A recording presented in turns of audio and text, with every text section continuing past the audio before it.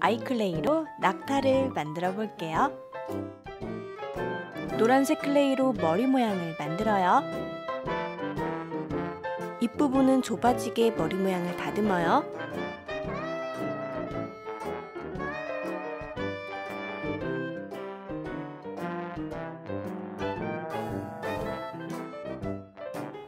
도구로 입을 눌러주고 안쪽으로 빨간색 클레이를 넣어주세요. 노란색 클레이를 펴놓고 가운데 부분을 도구로 눌러주세요. 입 위로 붙여요.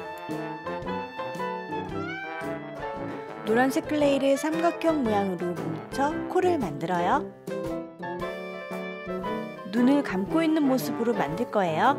노란색 클레이를 펴서 눈이 드는 자리에 붙여요. 가늘게 밀어준 검은색 클레이를 붙여 눈썹을 표현해요.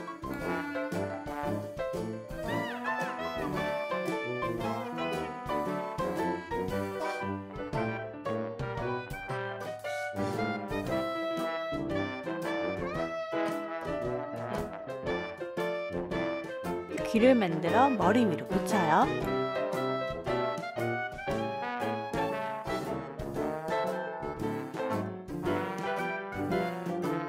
고동색 클레이를 가늘게 밀고 양끝을 붙여 둥근 털 모양을 만들어 머리 위로 붙여요.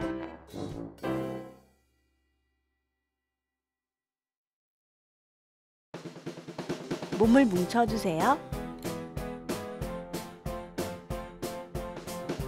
빨간색, 민트색, 보라색 클레이를 뭉쳐 서로 붙여주고 방구 모양으로 다듬어주세요.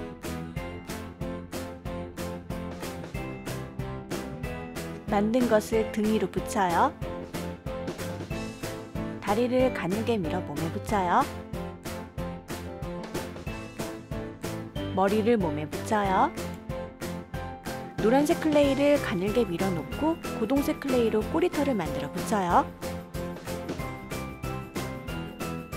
연두색 클레이를 얇게 펴서 말려주고 가위로 몸 모양을 잘라요. 잘라준 조각을 묻혀 장식해요.